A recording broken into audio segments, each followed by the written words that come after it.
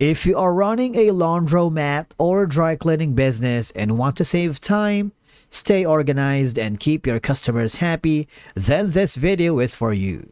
Hey everybody, welcome back to our channel. In today's video, we are diving into CleanCloud, the all-in-one software that's revolutionizing how laundromats and dry cleaners run their day-to-day operations, from managing orders and pickups to tracking inventory and sending customer notifications, CleanCloud makes it all super easy. So let's begin. Now, the first thing that you need to do, visit the official website, which is going to be cleancloudapp.com. On the top corner, you have an option to log in using your credentials or click the free trial option. What will happen is you just have to pro provide all the information needed and then click the start free trial. After that, you will receive a welcome email such as this one and all you have to do once your account has been created, just follow the on-screen instructions and click the submit store settings and begin tour. Alright? Wait for it. So loading times may vary depending on your internet connection. So make sure that you have connected to an active internet connection and you are not using any um, any virus or VPN because that could interfere with the connection. Once you've done that, you will be forwarded to the main page wherein this is the perfect opportunity for us to explore the CleanCloud. We have the POS basics, store setup, pickup, and delivery. All right, and even the staff managed. So you can ask for help or book a demo. But we're not going to do that because we can basically just go around here. On the top corner, you have all these sections. Number one is new order, detail, cleaning, machines, ready, and pickups. For So for the new order, as you can see, this is where new customer orders are created and entered into the system. So for example, we're going to click on the wash, fold, and dry. So let's say, for example, let's enter a specific weight, 6.9. If you want to put in notes, for example, um, say it's these are going to be like um,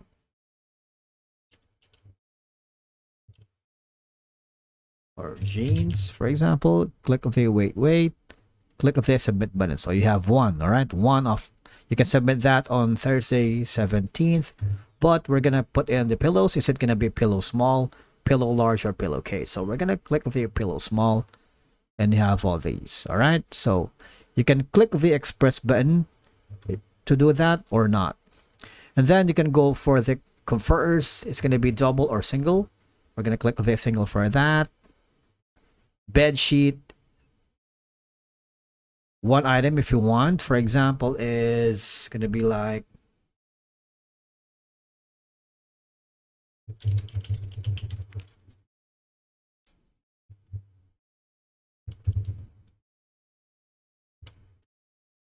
click the submit button. And then there's going to be an option here for the photo if you want. We're going to add some photo all right and then there's going to be a plus button for the customer. So let's put in the customer name. Say for example test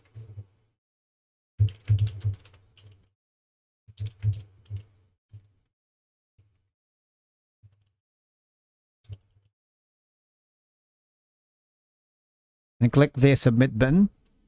Make sure the phone number is set so you have you can put all these later. All right. Now for the meantime, we're gonna submit this, and that's gonna be this exact um amount. All right. So you can do that. Now on the uh, on the bottom, you can put in bubble, button broken, button missing, color form, and you can also put in different kind of colors that represents the uh, fabric, snags, tears, you see that? So you can customize all of it. That's for the new order. If you go to the details, you can put in anything here from orders, pieces, value, and unpaid. Alright? So for the detail, this section provides a deeper look on each individual order if you place one of them. You can view or edit order info. You can add tags or label for sorting.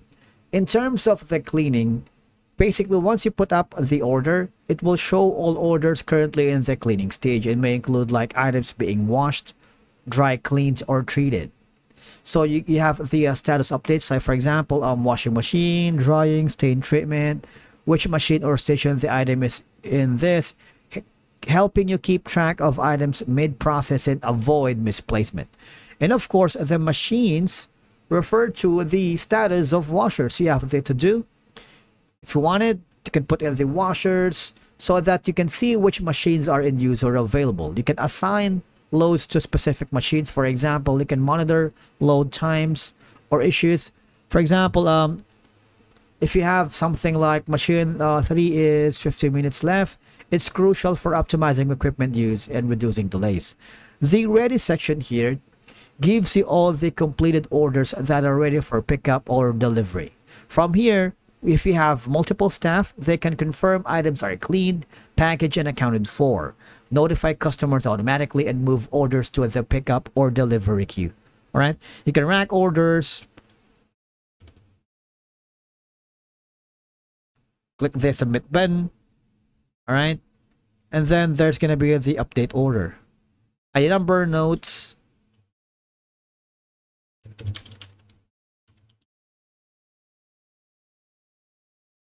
Paid by cash or paid by card, paid by check, unpaid or already paid. You can do that for the status and click the submit button.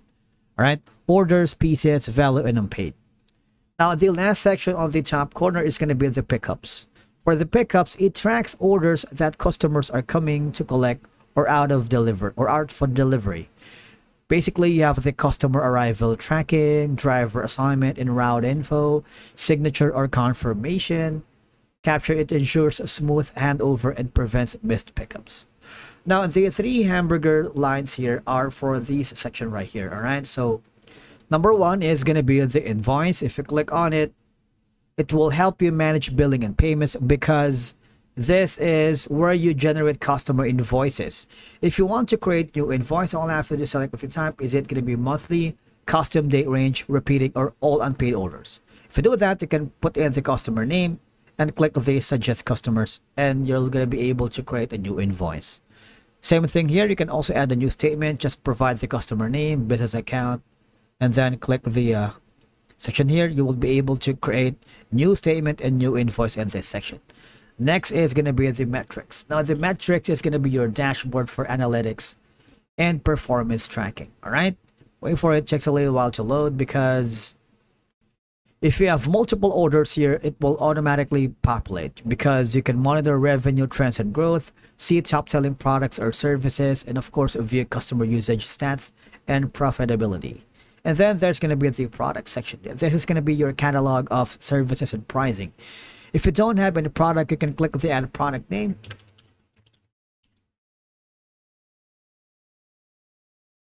But an image, is it going to be um all these? You can depending on your preference, tide free and gentle, overlay text, product type normal, parent weight, gift card. It's up to you, all right?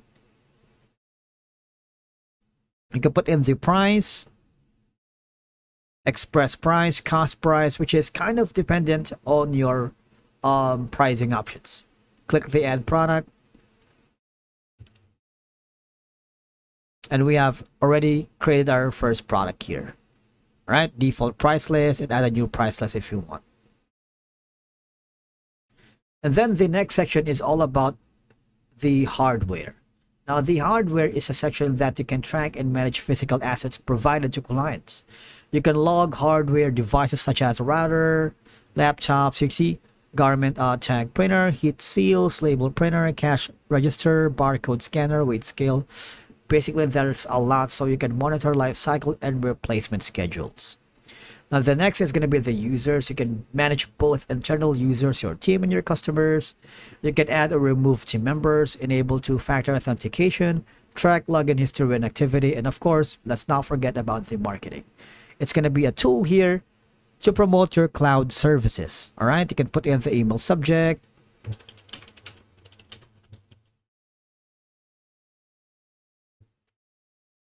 call to action button, create order, and click the submit button. All right. So that means you can track engagement metrics, open clicks, and of course, generate lead capture forms or landing pages, creating branded product catalogs or code templates from this section. All right. And basically, that's a wrap on how to use CleanCloud to streamline your laundromat or dry cleaning business.